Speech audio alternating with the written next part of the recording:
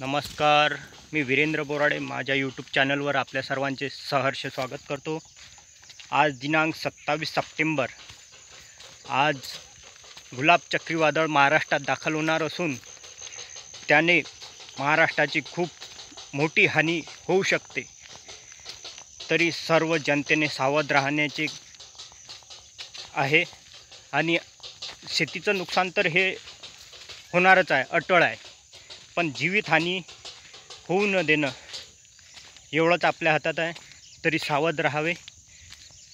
आणि आपलं घराच्या बाहेर निघू नये पाऊस चालू असताना कारण हा पाऊसामध्ये वारा साठ ते सत्तर किलोमीटर प्रति तास एवढ्या वेगाने वाहणार असून पावसा पाऊससुद्धा कुठे कुठे पन्नास ते शंभर मिलीपर्यंत पावसाचं प्रमाण देखील राहणार आहे. तरी सर्व महाराष्ट्रवासियांनी याची दक्षता घेऊन आपलं रक्षण करावं.